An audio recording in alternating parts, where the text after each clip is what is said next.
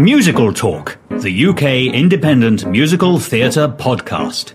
Hello, welcome to this week's episode of Musical Talk. My name is Nick Hudson. This week, you're going to be hearing a review of The Time Traveller's Wife that Andrew Keating and I saw at the Apollo Theatre. So, without further ado, let's go back in time to when I saw the show with Andrew as we share our thoughts.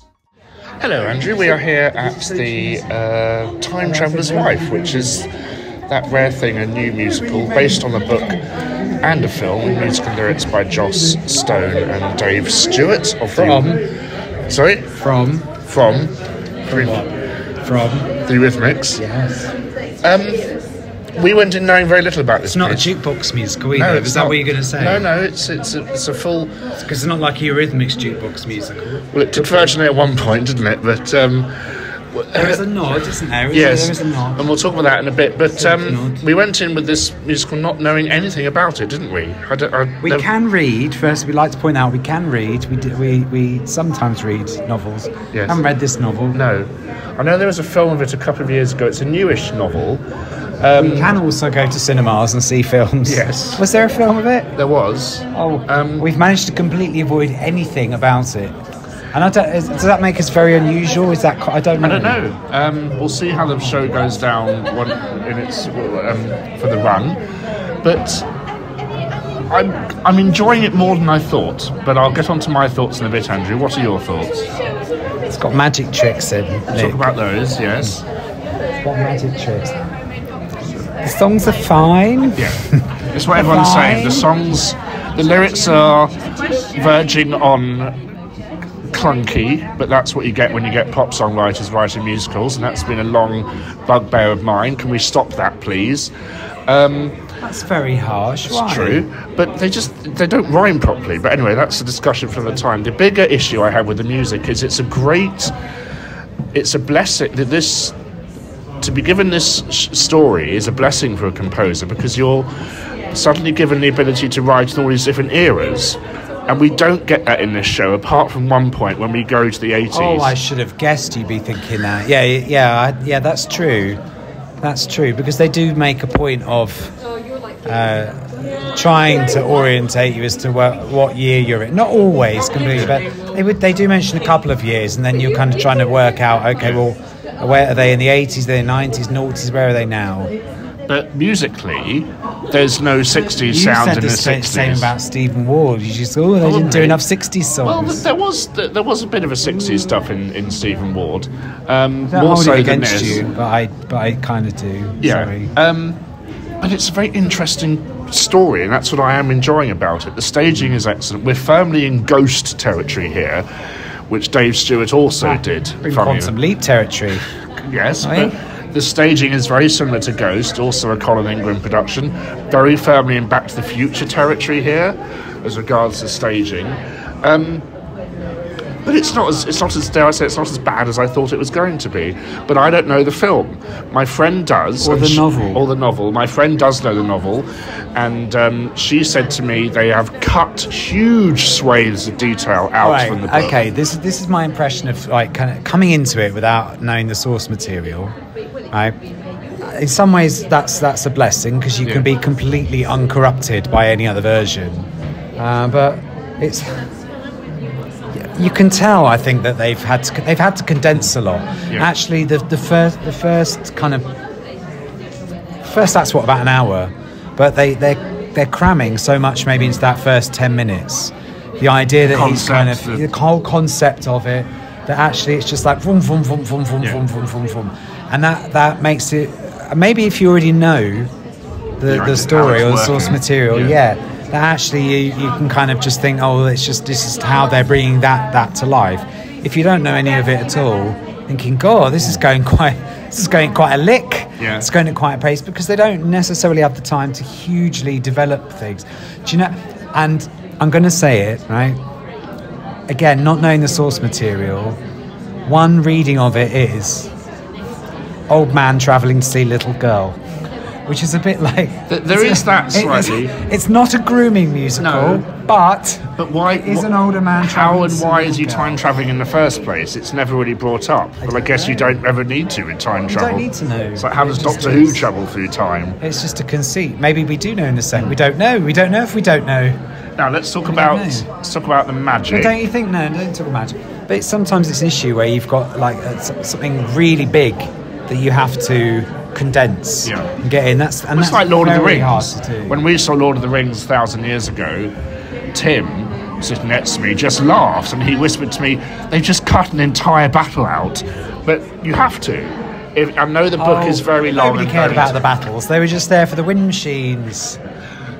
Hair dryers. Yeah, and air dryers, and you shall not But yeah, pass. I, and, I, I absolutely and get like your point. things. Was it orcs on pogo stick? Was it orcs? I don't know what Yeah, they, they were. were, they- Goblins, whatever, whatever it is. dancing around. But yes, you do have to cut huge sections out. But I think the story's I'm been not told. saying I'm not saying cut things out necessarily, but you have to condense. Condense, yeah. You have to condense and simplify. It's been told very well. The staging is beautiful. Let's talk about the magic. Um, obviously, because he does have to. Henry Don't- don't does have to. it. He, does have to disappear. Very, I won't, but there are very clever ways of doing it. I look forward to seeing what they do Yes. later on. A bit of a a shock moment at the end of Act One, which was um, Don't spoil. it. quite nice. But um, yeah, I'm enjoying it. It's it's nothing we haven't seen before. As regards, if you've seen Ghosts, if you've seen Back to the Future, you've certainly seen this kind of show. But it's a kind of show I like. Um, it's not a massive sing-songy musical, though, is it? It's not. You know, the first applause didn't happen until about 30 minutes into the show, which is fine because it just moves What so was quickly. the song we did like? I like Where's to. I, I do. I'm enjoying the songs. I just wish they, as I said, I wish they had more stylistic variation to represent the era that we're in. One day. Yeah. Was it one day through that? Was that was kind of like is the also middle a- of that one song? One day is also a song from um, One Day, One- Groundhog? One Day. more. But yeah, there's not many songs in it, as you said. Um, but yeah, I'm enjoying it very, very much, and it's nice. It's a new show. Um, it's not a jukebox musical. There are a lot of those, and you know, every day one seems to get announced. So let's make our way. And it's got in. it's got uh, it's got a Jesus in. yes, Jesus is in it. Time traveling. A, a time Time traveling Jesus. Jesus. David No, Hunter. David Hunter. He wasn't Jesus in the end, was he? In Superstar. He was nearly Jesus. Was he nearly a Jesus? I can't remember how far up. No, I can't remember how far up the running he was. Um, but there we go. That seems like a very long time ago now, doesn't it? It was 2,000 years. It wasn't. It And wasn't Joanna Woodward is very good as the lead girl, and it's a lovely ensemble um, cast, isn't it? They all sort of play different versions and older versions of themselves, and uh, the the um, the Yeah, but then you've child got that. is very good. But then you've got that supporting couple. yeah, so- a comedy couple. Yeah, not really. So Well- like Charisse and Gomez. Yeah. And actually, Oh, again, Tisha and Gomez. because, again, because they've got condensed so much, they don't get enough to do. You get a glimpse of, of, of what they could be. But but it's as regards to structure and watching, it's very exciting because they say, "Oh, I've just been." Nine years into the future, we might not see that scene until later. So it's kind of fun seeing this story told in fragmented parts. That's an aspect of it I am enjoying. Um, so yeah, we'll see what happens in Act Two, Andrew. So Act Two of The Time Traveler's Wife has ended, and uh, I thought it just left in tears. thought it just plodded along as it started. Really, what, what do you think, Andrew? There is, well, trying to be relatively spoiler free. Yeah. There's there's an opening number in Act Two, which is channeling a lot of Eurovision. That's all I'll say. Yeah, someone Not else. musically. Someone else said it was like a music video that we saw. It was, wasn't it? Yeah. Yeah. Front projections. Yes. Back projections. Yeah, and- Side projections. and people doing things. I don't know. Are we meant to see them, or are we not meant to see them? Because I think they could have I- I done that a bit better. No, I think um, one of the things is you probably you probably I mean we we were quite central front stalls. Yeah. You probably would benefit from being slightly further back.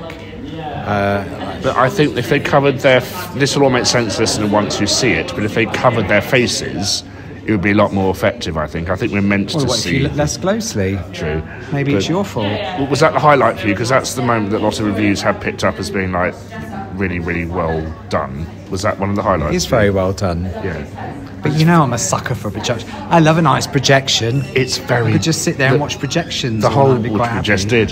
The whole show is very ghost-like, though. Did you see Ghost? No. Musically, again, it was Dave Stewart doing Ghost. Um, a lot of ballads, a lot of kind of this is going to end up sad. Um, I did like that one big ballad. I'm not very good with song titles, but there was there was the Yeah. big ballad which sounded a bit like you know the opening of Evergreen. Na, na, na, na, na, what do you mean? na, Till I till I hear you sing. Oh, I suppose that does sound like it as well. Yeah, that. It channels a little bit of that. I like that one. I think there were too many ballads, though. There needs to be much more variation within the score, but there There's isn't. not, there's not too many ballads. There needs to be probably a bit more variation in the, yeah. the score. Yeah. But um, So like, oh, this one sounds like the other one. Oh, it sounds like the one before. but it's well staged. I like the magic. There's a very very good trick near the end of Act Two. Um, They're which- two very good leads as well. They're Yes. two, they really do Yes, they give really it their work very they? They hard. do. and uh, yeah, it's just a very, very quite a moving piece of theatre. The people around us liked it. Someone said upon leaving, "I love the film, but I really, really enjoyed that production," um, which is you know I love the film. The only thing is, though, it's a bit, it's a bit like she's. I don't want to give the, I don't want to give the plot twists away. but then people can, probably have yeah. seen, it, haven't they? But it's a bit like, well, you know, he's a time traveller, so it's a bit like you We should know, probably say what the story is. It's about this couple that um, the husband. It's, about, it's about time traveller's wife Yeah, um, and time traveller It's about time travel's wife, but and it- their friends and who aren't time travellers. it's kind of like how do they live with this and the the things that. How does he keep down a job? They didn't answer that, did they? He works in a library. It's just like, well, how do they, how do they rotate him on shifts? They don't know what, what when's he going to be there? Is he going to be ten? Is he going to be He doesn't go on roller forty-eight? What's he going to What's he going to be? Um, He doesn't know. He doesn't. He doesn't go on planes, No. roller coasters, or drive a car. What a dull life you must lead. But he does time travel. Well, you would say that. Yeah, you were a roller coaster fan.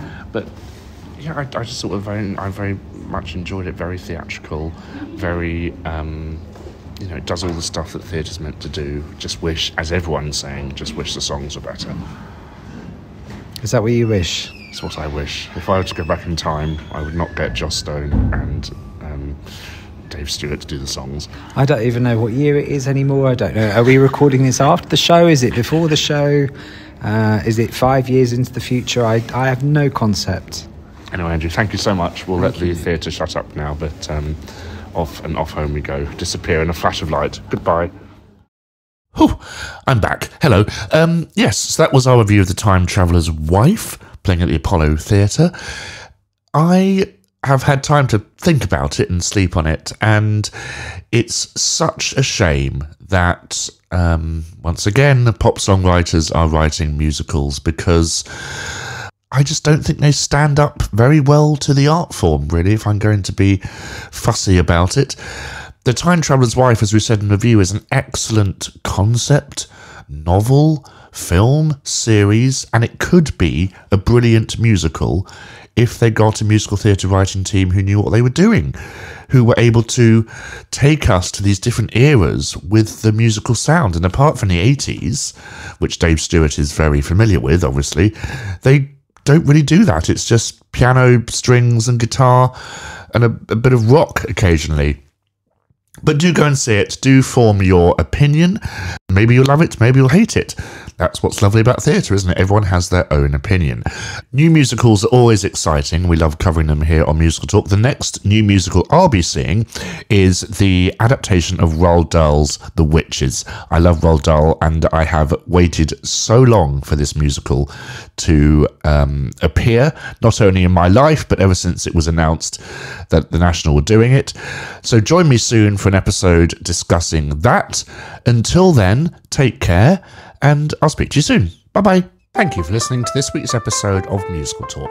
To find out more about the world of musical talk, you can visit our website at musicaltalk.co.uk, where you'll find all our episodes, or you can listen on Spotify, Apple Podcasts, or YouTube. Please follow us on Twitter and Instagram at Musical Talk.